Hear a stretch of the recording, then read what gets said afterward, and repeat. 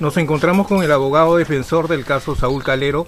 Para el día de hoy se había citado a las nueve y media, la sala se instaló a las diez y treinta. Eh, ¿Qué justificativo se dio eh, para este proceso? El alcalde no ha presentado ninguna justificación. Por escrito no existe nada en mesa de partes, ni ha sido tratado en la sala. Eh, la, defensa solicitó que se haga efectivo, eh, al igual que el Ministerio Público, que sea efectivo el apercibimiento señalado, que sea conducido con grado fuerza, o en su defecto que se formule la denuncia penal por resistencia a la autoridad. Y creo que en esta oportunidad ha sido convocado nuevamente el alcalde eh, bajo percibimiento puede ser conocido con, con grado de fuerza. Y en todo caso de, no asistir será denunciado penalmente por resistencia a la autoridad. ¿Pero la policía fiscal cumplió con el procedimiento de entregar la citación? No está muy claro eso, por eso la sala está remitiendo un oficio a efecto de que la policía fiscal este, señale cuáles fueron las causas por las cuales no ha sido conducido de grado de fuerza el alcalde Lobel Yobón Vargas. Eh, hubo una variación en la composición de la sala, una nueva fiscal eh, que se introduce en este proceso es la que con su anuencia se reitere este procedimiento de conducción de grado fuerza. Eh, no solamente el Ministerio Público lo está solicitando, también lo solicita la, defensa, todo es que se trata del denunciante y testigo, pues, de protagonista de todos estos hechos, ¿no? Quien dio curso a toda esta denuncia. Pero ¿por cuántas oportunidades se podría reiterar este proceso de eh, no comparecencia?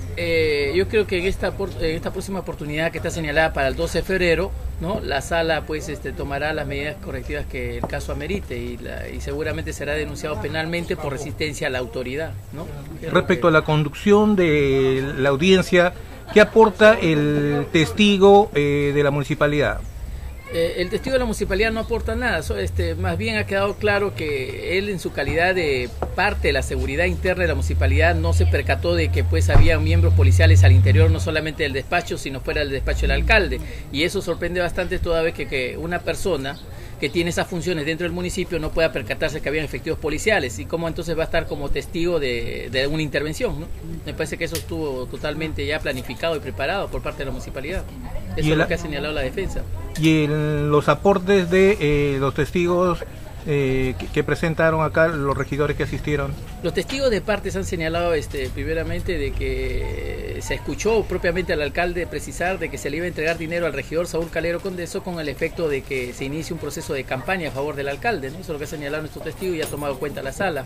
Y el otro testigo ha señalado claramente cuál es el proceso para la conformación del comité de administración del vaso de leche, que requiere la preexistencia de una resolución de alcaldía, la misma que debe ser elevada al pleno del consejo para su aprobación o ratificación en este caso, ¿no? cosa que no existió en el momento de los hechos. ¿no?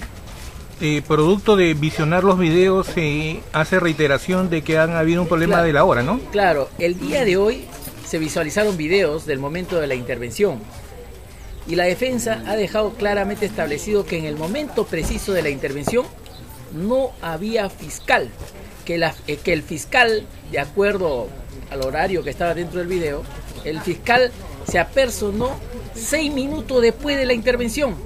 Y usted sabe que en esa brecha de tiempo puede suceder muchas cosas. Por lo tanto, la intervención pues este este carácter defectuosa, inválida y no puede eh, ser como este medio probatorio de cargo para una evocación de una sentencia condenatoria de esta naturaleza. Y respecto a los puntos de vista expuestos por el fiscal, ¿qué opinión le merece? Eh, hasta el momento no existe argumentos suficientes para poder evacuar una sentencia condenatoria. No, es, no está determinada la responsabilidad. El video que se ha visualizado el día de hoy es momento de la intervención, no el momento de los hechos, ¿no? Eh, los hechos que son materia de incriminación. Eh, se tiene una manifestación, se tiene la manifestación del encausado, se tiene la manifestación de los policías que se han contradecido enormemente, ¿no? Se tiene la, manifestación de los testigos de parte que han señalado que el dinero eh, iba a ser entregado por el alcalde para efecto de su campaña. Se ha señalado igualmente cuál es el procedimiento regular de la, para la aprobación del Comité de Administración del Vaso de Leche. Y con todo esto, pues, este, todavía no existe argumento de pesos que pueda, digamos, este, señalar una sentencia condenatoria. No existe fundamento, ¿no? Hasta el momento. En estas condiciones, ¿qué desenlace podría tener este proceso? De continuar en este norte, eh, estoy sumamente seguro que la sentencia sería la absolución patrocinado.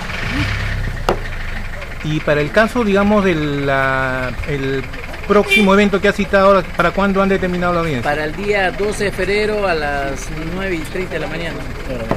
Y en estas condiciones, la asistencia del alcalde tendría que ser en qué modalidad? está, eh, sigue, se ha solicitado el apercibimiento, que sea efectivo, ¿no? Debe ser conducido de grado de fuerza. La, defensa tendrá que tomar las medidas correctivas, en todo caso solicitará copia, ¿no? Del oficio a efecto de ir con la policía judicial y tratar de hacer que se ejecute esa decisión de la sala, en todo caso, ¿no? Entonces, el procedimiento de la Policía Judicial, ¿en qué marco de desarrollo, implicancia tiene en este ya proceso final? La Policía Judicial debió haber hecho efectivo la decisión de la sala. Por eso la sala está solicitando que dé la explicación del caso por el del porqué de la insistencia el día de hoy del, del testigo Lobel Yumón Vargas. Además existe un precedente, ¿no? Que en el que en la etapa de la instrucción ya el alcalde se ha ausentado y se ha sustraído a su responsabilidad con respecto al Poder Judicial durante cinco oportunidades, la misma que ha transcurrido ocho meses, ¿no? Y creo que son los mismos argumentos que pretende llevar a cabo en la sala, ¿no? ¿Esto implica una omisión de funciones a la Policía Judicial? No, esto significa resistencia a la autoridad, ¿no? Y de Lo cual agrava la situación de la Agrava su situación, pasaría de testigo a denunciado. Correcto. Muchísimas gracias. Buen día.